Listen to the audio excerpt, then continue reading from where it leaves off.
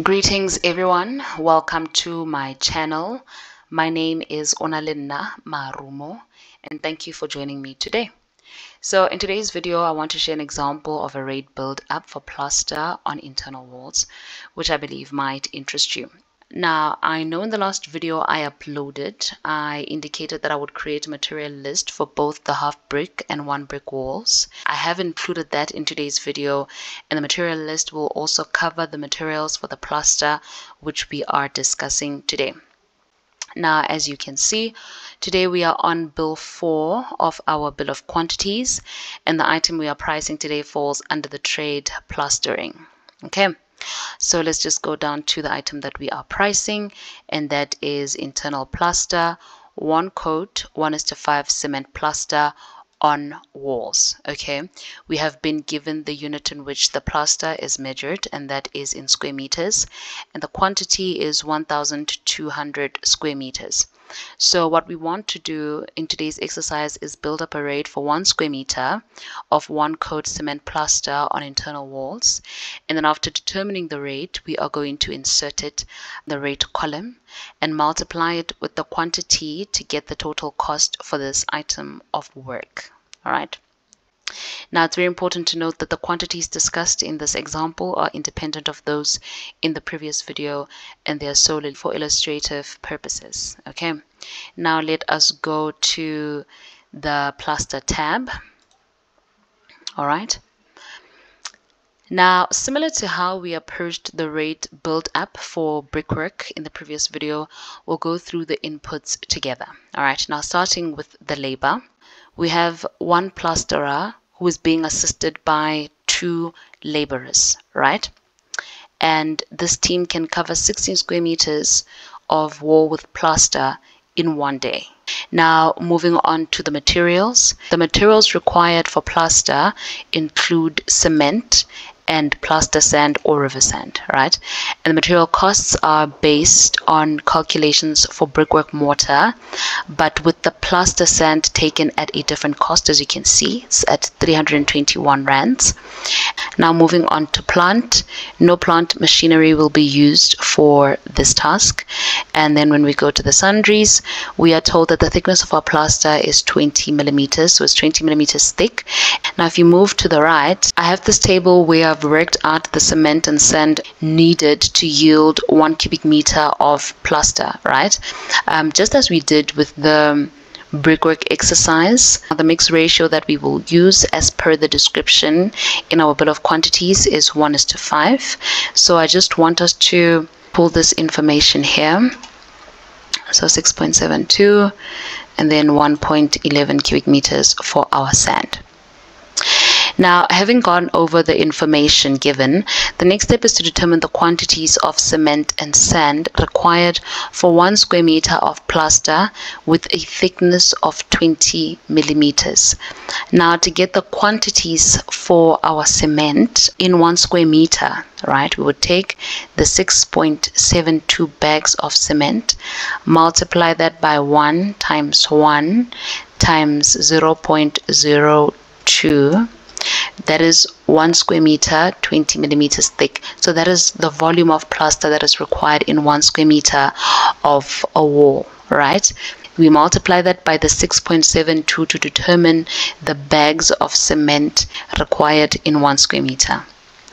And there we have 0.134 we're going to do the same thing with the plaster sand. We're going to say 1.11 multiplied by 1 by 1 by 0.02 and that gives us 0.022 cubic meters. Okay now that that is done let us move to the rate buildup. Starting with the labor we know that our plasterer can plaster 16 square meters of wall in a day, right?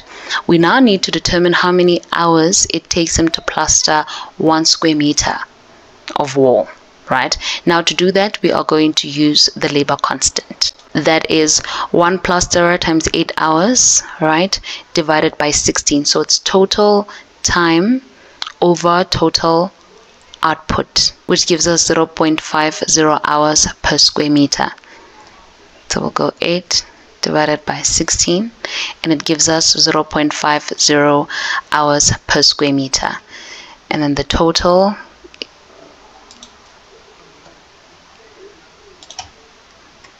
and the total is 21 rand 71 cents. Now moving on to the general laborers. Because our laborers are just assisting the plasterer we are going to multiply the plasterer's hours by 2 because we have the two general laborers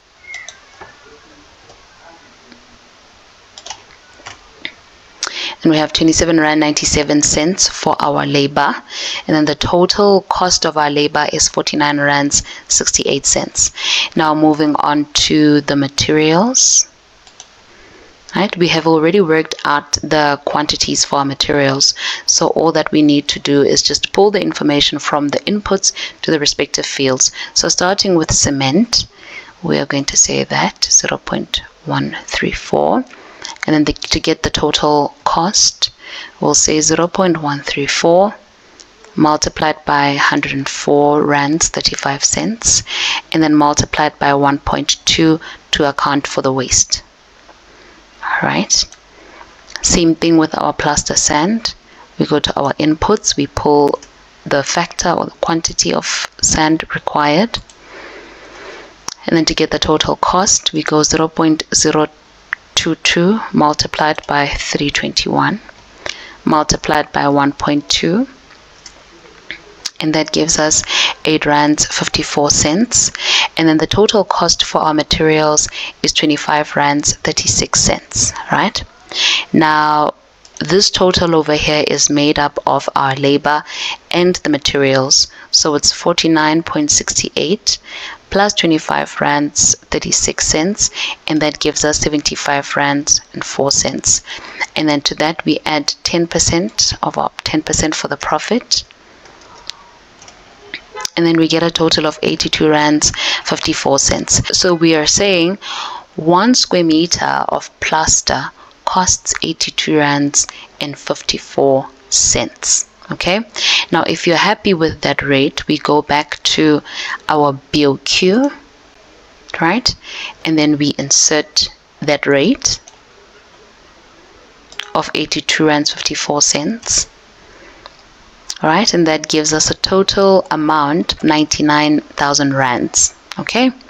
And that is our cost for that item of work now moving on to the material list. This is our material list. So the first trade there is masonry. The description for the, this item of work that we priced is brickwork and stock bricks in 1 is to 5 cement mortar. All right. Now, starting with the half brick wall, let's go to the tab. We said one square meter of a half brick wall has 55 bricks, including 5% waste, right? So it gives us 55 bricks. And then to get the total number of bricks for this project, we would then multiply the quantity that has been given, which is 405, multiply it by 55 bricks, and then it gives us a total of 22,000 bricks for this project. Moving on to the mortar component, we said in one square meter of a half brick wall, we have 0.0176 cubic meters of mortar, right? And we also said we have a waste factor of 30%, which is not included in the 0.018 cubic meters. So we multiply the 0.0176 by 1.3 to add the 30% waste, right? And that gives us a total volume of 0.023 cubic meters in one square meter of a half brick wall. Now for this project, we would then say 405 square meters multiplied by 0.023 cubic meters of mortar and that gives us a total volume of 9.28 cubic meters right? Now with this volume we can then work out the pockets of cement required and the total volume of sand that is required for this project. To do that we will say 1 divided by 6 which is the mix ratio multiplied by 1.33 which takes into account the shrinkage factor. And then we also multiply that by 30.3 bags and then multiply that by the volume of this project. And that gives us 62 pockets of cement. We're going to do the same thing for our sand. So we will say 5 divided by 6 multiplied by 1.33 multiplied by 9.28 and that gives us a total of 10 cubic meters. The other way in which you could have done this obviously is to say, okay, if one cubic meter of mortar is equal to 6.72 bags of cement, right, of cement, 9.28 cubic meters of mortar is equal to X bags of cement. When you cross multiply, you would then have 6.72 bags multiplied by 9.28 divided by 1 and that would give you 62.36 bags of cement for this project. Obviously there's a rounding off issue there but it would give you the same answer basically. Same thing with the sand. If you wanted to do it with the sand it would be the same thing. So you would say for sand one cubic meter of mortar is equal to 1.11 cubic meters of of sand right and then we'd say 9.28 cubic meters of mortar is equal to x cubic meters of sand. You cross multiply there, then you would have 9.28 multiplied by 1.11 and it gives you 10.3 um, cubic meters of sand. That is another way you could have done it. All right. Now moving on to the one brick wall. Let's go to the tab. We said in one square meter of a one brick wall, 110, right? To get the total number of bricks for this project, we would then say 2,145 multiplied by 110 bricks, and it gives us 235,000 bricks. Now moving on to the mortar component, we go to the one brick wall and we said one square meter of a one brick wall has 0.0456 cubic meters of um, mortar right?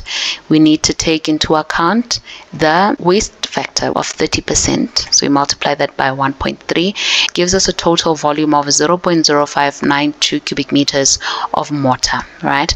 Now to get the total volume of mortar for this project we would then say 2145 multiplied by the mortar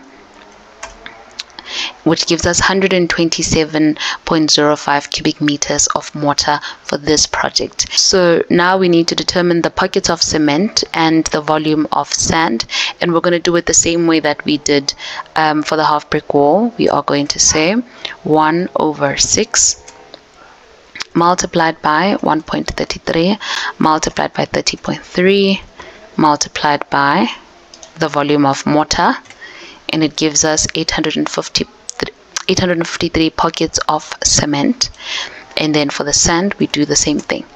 5 over 6 multiplied by 1.33 multiplied by the total volume of mortar and that gives us 141 cubic meters of sand all right so that is that covers um, the materials required for the half brick wall and the one brick wall. Now moving on to the materials that are required for our plaster. The total volume of plaster that is required in one square meter of wall is 1 times 1 times 0.02 for the thickness of the plaster and then we said we're going to add 20% to account for wastage right? We multiply that by 1.2 and then it gives us 0.02 now to get the total volume of plaster required in one square meter we say 1200 multiplied by that which gives us 28.8 cubic meters of plaster that we need for this project all right? Now similar to how we did uh, for the one brick wall and the half brick wall we are going to say 1 over 6 multiplied by 1.33 multiplied by 30.3 multiplied by the total volume plaster and it gives us 193.4 bags of cement that are required. And then for the sand component we do the same thing. 5 over 6 multiplied by 1.33 multiplied by the total volume of plaster that is required and that gives us 31.9 cubic meters of sand for this project. And just like that we are done with this exercise. I hope that you found it helpful and yeah thank you so much for watching